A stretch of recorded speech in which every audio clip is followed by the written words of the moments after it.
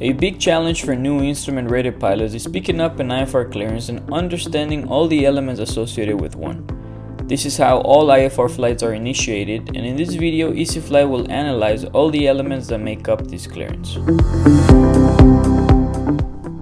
Today we're planning a flight from Miami Executive Airport to Tampa International Airport as shown in the route.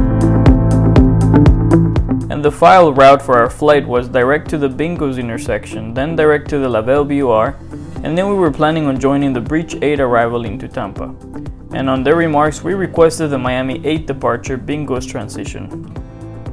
Once we're ready to pick up our IFR clearance, we should have the clearance delivery or ground control frequency from our departure airport set, and the acronym CRAFT written down in our kneeboard or iPad. This will help us write down the elements contained in the clearance in an orderly fashion way. Miami clearance November 123 Echo Charlie's at spot 13 with information Bravo would like to pick up our IFR clearance Tampa. November 123 Echo Charlie cleared to the Tampa airport via radar vectors to join the Miami 8 departure, Bingo's transition, then as filed. Climb and maintain 2000, expect 6000, 10 minutes after departure. Departure frequency is 125.5, squawk 4356. Alright, November 123 Echo Charlie is cleared to the Tampa International Airport via radar vectors to join the Miami 8 departure Bingo's transition, then as filed. We're climbing maintain 2000, expect 6000 in 10 minutes. Uh, departure frequency is 125.5 and we'll squawk 4356. Now, the first element we need to analyze is the clearance limit. The clearance issued prior to departure normally authorizes you to fly to your destination airport, like in the example shown before. However, because of delays at your destination, you may be cleared to a fix short of your destination. If this happens, you will be given an expect further clearance time. The following is an example of a reroute given by ATC.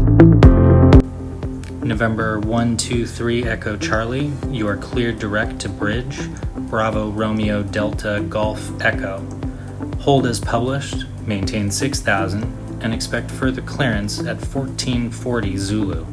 Time now, 1410 Zulu. The next element in our clearance is our route.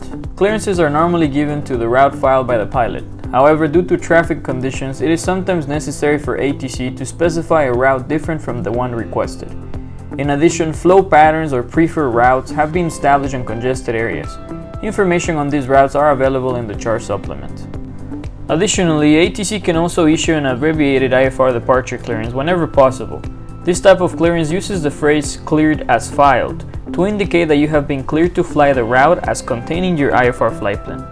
An abbreviated clearance only applies to the route segment of the clearance. Besides the statement clear as filed, it always contains the name of the destination airport or clearance limit, any applicable SID name, number, and transition, your assigned and route altitude, and any additional instructions such as departure control frequency or transponder code assignment. The altitude or flight level instructions in an ATC clearance normally require you to maintain the altitude or flight level at which the flight will operate when in controlled airspace, and the altitude to expect after ATC takes you out of busy and congested airspace. A cruise clearance may be issued by ATC in situations where the route segment is relatively short and traffic congestion is not a consideration. In this type of clearance, the controller uses the words cruise instead of the word maintain when issuing an altitude assignment.